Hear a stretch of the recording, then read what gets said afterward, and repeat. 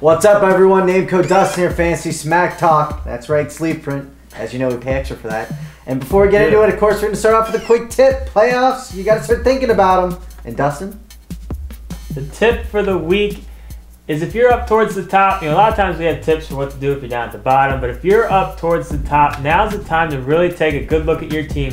Look at your best starting lineup, and then look at what's left over on the bench. If you have wasted talent on your bench, now's the time to consolidate, try to do some two for ones or anything that you can do to try to get better players in your starting lineup with the key factor of making sure you're getting good playoff matchups.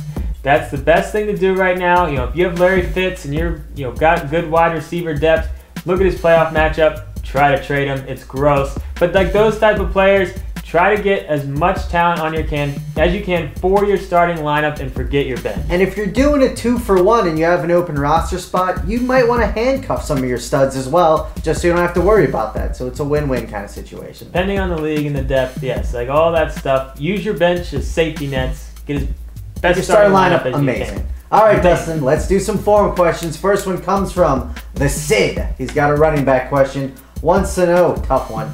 Gore versus the Rams or CJ2K at Miami? The community saying it isn't tough, and they're going 86% Frank Gore.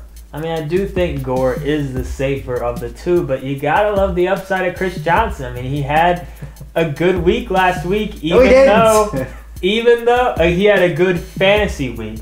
On maybe. paper, he had a good week. We had a bet, so Brent's a little uh, a little, little sore salty, a about little it. salty. But uh, I here's how I'm gonna say with this one: if you feel that you are the front runner in your matchup, go with Gore. He's the safer guy. But if you think you're playing from behind, go with the potential home run in Chris Johnson. You know. St. Louis is a slightly worse run D, but it's not night and day. Miami's really good, but St. Louis isn't terrible. So if you're behind, go with Chris Johnson in this one. I say Gore either way. All right, next one comes from KDB, wide receiver question. Emmanuel Sanders versus KC or Hartline versus Tennessee. It's 50-50 split right now. And I put this one on here because I think a lot of people are going to look at Sanders as a potential start this week with Brown out. Yeah, and I think he's not a bad potential start at all, but they also have Cotchery there. And out of these two, you gotta love Hartline's matchup. I mean, playing against Tennessee, everyone puts up a million points on him. Heartline had over 100 yards again last week. Him and Tannehill, they really are on the same page. He's not a stud number one fantasy receiver, but he is the number one on the fins. I would actually go with him. He should be targeted more than Sanders this week. All right, Dustin from PSC underscore 02. He's got a flex question. He wants to know Leshoure at Minnesota, Spiller at New England, or Stevie Johnson at New England. The community is saying you got to go with the guy that had three touchdowns last week, and that's Leshoure. This one's not easy either. You know, Leshoure did have three touchdowns, but he is in a super heavy timeshare right now. With Bell, it's just a little scary. I don't mind the matchup against Minnesota. They're not nearly as scary as they were at the beginning of the year. I'm actually curveball going Stevie Johnson here. Buffalo's gonna get down early. Buffalo New England games sometimes turn out to be somewhat of shootouts. They're going to be throwing a lot. I like Stevie Johnson. You know, New England, you can move the ball on them normally because they're up by 20 points and they're just trying to prevent the big play. But look for Stevie Johnson to get a lot of targets. I actually like him as a sneaky play this Nine week. percent of the community in Dustin says Stevie Johnson ah, That's scary. or Steve Johnson. My apologies. He goes by Steve. Steve now. It's Stevie. He lost to Stevie. Bet of the week. Bess first Bowe. Bess first Bowe. Bet of the week, Bess first Bowe. Wow. is the bet of the week. I got Bowe. He's got Bess. Here's my reason. I my reasons behind Bowe.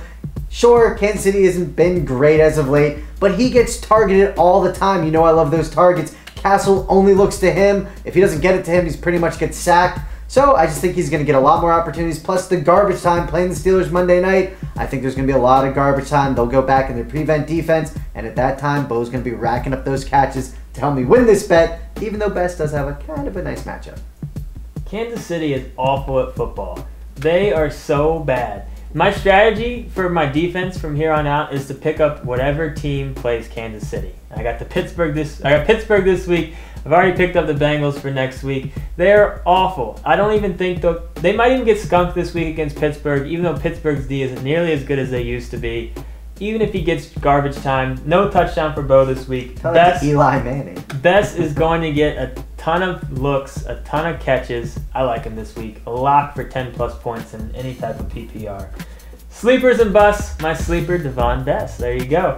Going up against Tennessee, they are just as bad at defense as Kansas City is at offense. Look for Miami to easily move the ball. Look for Best to be a big part of it. I like Tan- I like Hartline. I like Reggie Bush this week. I like all those guys. Even Tannehill if you're in a, in a bind. My bust is Taiwan Jones. Baltimore's D not that scary anymore, but I want to see at least one game out of him and see how many touches he's going to get. See what Oakland's going to do with this mess of running back situation with both their top guys out. I'm benching him unless you are in a crazy bind.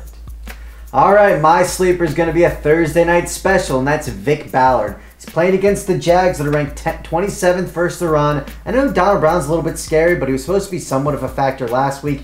He didn't even really touch the ball. Ballard had that crazy touchdown. Living large right now. I like Vic Ballard to have a pretty good game this week. Maybe find the end zone. My bust is going to be Shonn Greene. I know he's been getting a decent amount of run, but he's playing at Seattle. Seattle's defense is 11th versus the run, but at home they play even better. It's just it's a tough, tough place to play. I don't see the Jets doing anything this week. Seattle's actually ranked as my number two defense, might even be my number one defense.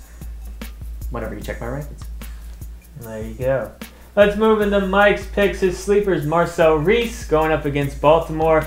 Out of the two running backs out there for Oakland, you know, it does look like Reece has more probably guaranteed touches, and he likes him in any type of PPR leagues. Look for Reese to rack up some catches. And his bust is Sidney Rice. Know, he's had a couple of good games in a row. He's going up against the Jets this week. He's not really liking that matchup. The Jets have only allowed three touchdown catches, just fewest in the fantasy land. So he's not liking Rice to find the, end fantasy zone. land and the real land apparently. Oh, in the fantasy land. So he's not liking Rice to find the end zone. Sidney Rice, no go for Mike this week. So that's our weekly show. I'm Dustin. Brent drew a picture. of Look, I got a the goatee. Kilberg. Mine's way better. Kilberg. Going anywhere. Goatee. It's not going anywhere. Maybe one day we do a bet for me to shave my goatee. Oh, love it. Let's do that.